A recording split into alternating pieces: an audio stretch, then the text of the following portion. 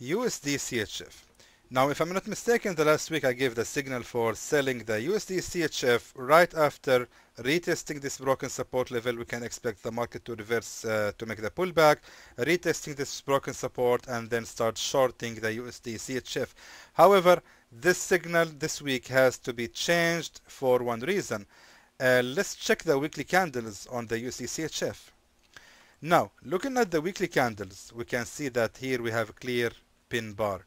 That pin bar indicating a bullish reversal on this level of the support and therefore we cannot really start shorting the USD CHF at all at this moment. However, um, is the is the bearish uh, the bullish reversal gonna happen right away immediately? I actually highly doubt it. Uh, it's not enough to start seeing the pin bar and then immediately we start buying the candle or sorry buying the market. Most likely that the market is going to make one bearish uh, momentum again, retesting the previous support, and then it's gonna be good to start buying the USD CHF. So now the question is, where should we actually start buying the USD CHF? Now let's go back to the daily candles, and let's try to find the strongest support levels. I need to find a key support level, and I think we can find, we can see something here yes that is actually very good. Uh, key support level this one here right, my, right here my friends which has become also another key support level right here and right here and here as well. Therefore let's go back now to the recent time and see yes indeed that was really strong as support right here and oh yeah even here. Perfect. The reversal has happened already two times right here on this support level.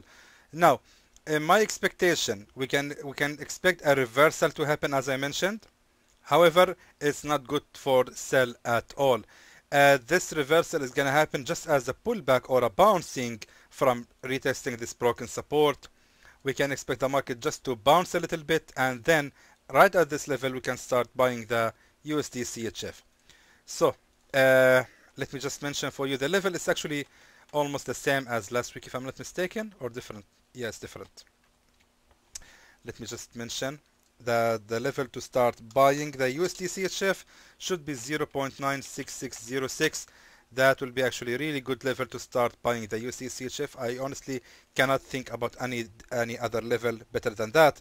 We need to wait for the market to actually reverse for almost 60 pips before we can start buying the USD CHF now just one more thing. I need to be sure about my uh, my uh, signal is using the Fibonacci retracement from this level here to this level right here.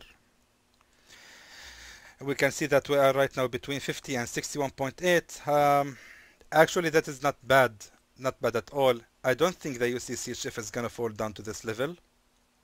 No, I really, I really highly doubt it. That's why I'm gonna ignore this one. There was no need to use it at all and I would stick to my word USD CHF is good for the buy on this level. Hopefully the market is going to follow this analysis. And again thank you guys for watching